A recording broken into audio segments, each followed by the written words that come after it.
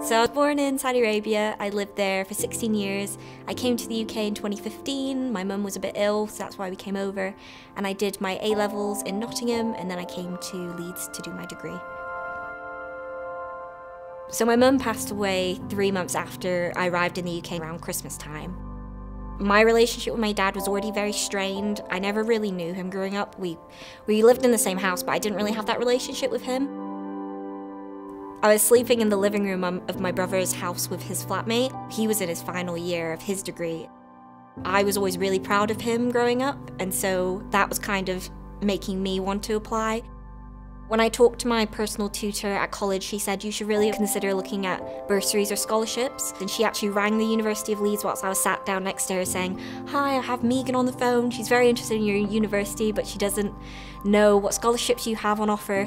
And so they got to walk me through how I could apply and actually described what estrangement was, when, which I didn't actually know the definition of. And so when they found out that that was my situation, they said, Oh, you should really consider applying to the means tested scholarship.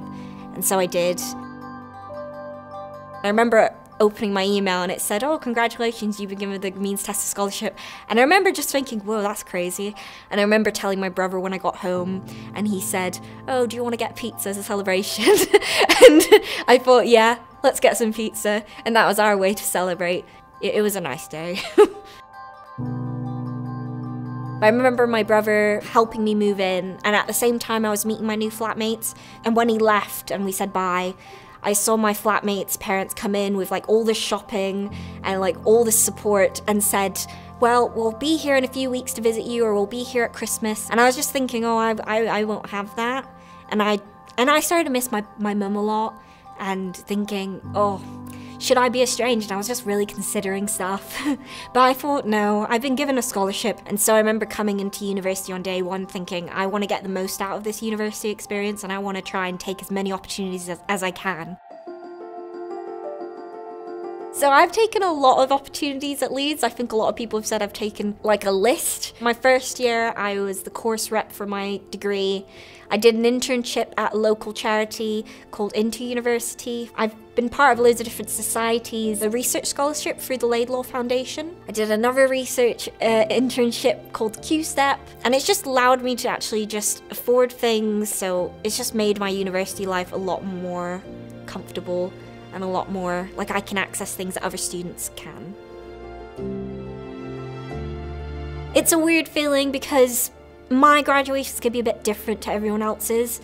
I keep thinking I want my mum there, but she won't be there.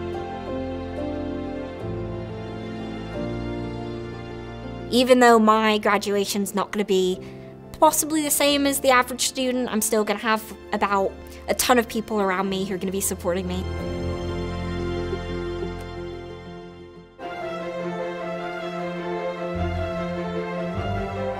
The scholarship has really meant a lot to me. I've kept thinking, I'm getting this money because someone wants me to be here and someone wants me to access all those opportunities. Because hopefully, when I'm an alumni and when I become successful in whatever capacity, I will hopefully be able to donate a scholarship myself.